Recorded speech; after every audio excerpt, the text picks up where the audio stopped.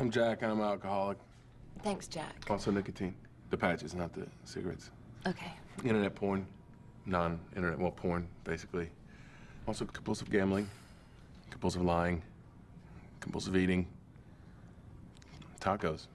I got a big taco problem. I think it all stems from my stint as an operative in the CIA in Beirut. Not the tacos, the, the drinking part. Can I'll tell you something.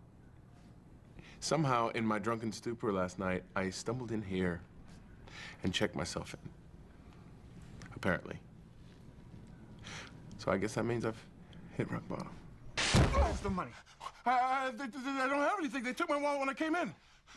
Are you okay, Tom? You're not thinking about breaking out again, are you? Stop with the jokes and the pandering and pretending you care about people. It might work on other people. It doesn't work on me. I can see right through it. Come on. You need a little step forward. Shut up! What do you want from me? The truth! Okay. Okay. I was never in Beirut. Wait! You want to know why I'm in here? My wife left me, okay? That's when everything changed.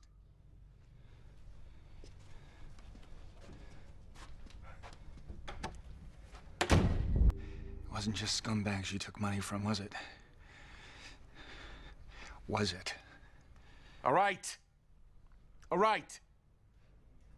I stole from a charity. Yeah. But it's it's it's not what you think.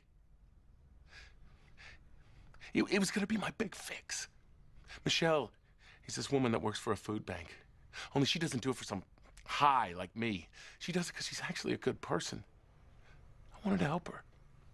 So I cleaned out her account. With the tricks I've learned, I can quadruple her money. So you were gonna give the money back? You were? Tell me something, Tom. Lying, cheating, stealing. If you're doing it to help someone, doesn't that make it okay?